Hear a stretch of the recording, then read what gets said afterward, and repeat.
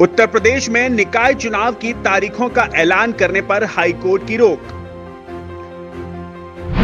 मंगलवार को जनहित याचिका पर फिर हाईकोर्ट करेगा सुनवाई। सोमवार रात 12 बजे तक याचिकाकर्ता वार्ड आरक्षण को लेकर अपनी आपत्ति दाखिल कराएँ। मंगलवार को सुनवाई के बाद तारीखों के ऐलान पर होगा फैसला।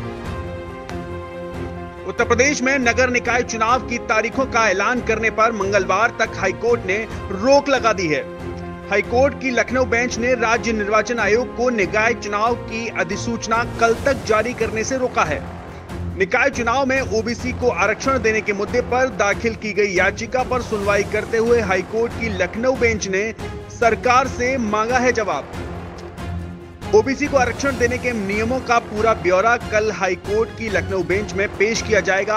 इसके बाद फिर मामले की सुनवाई होगी। तब तक राज्य निर्वाचन आयोग को निकाय चुनाव की अधिसूचना जारी करने से हाईकोर्ट ने रोक दिया है।